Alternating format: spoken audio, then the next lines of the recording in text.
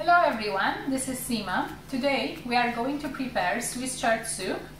Thank you for watching my video and don't forget to subscribe to my YouTube channel. For the recipe we need the following ingredients.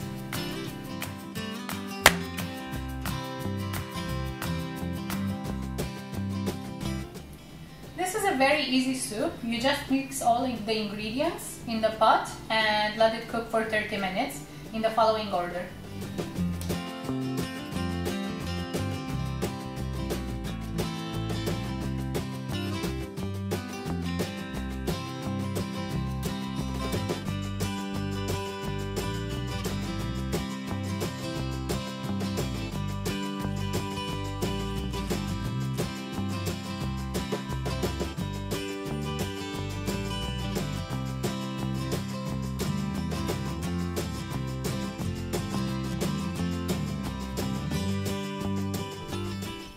The Swiss chard is ready.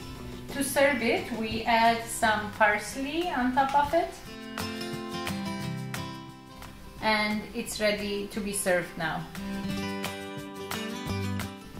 If you like my videos, don't forget to subscribe to my YouTube channel and follow me on Instagram, Sima's Way.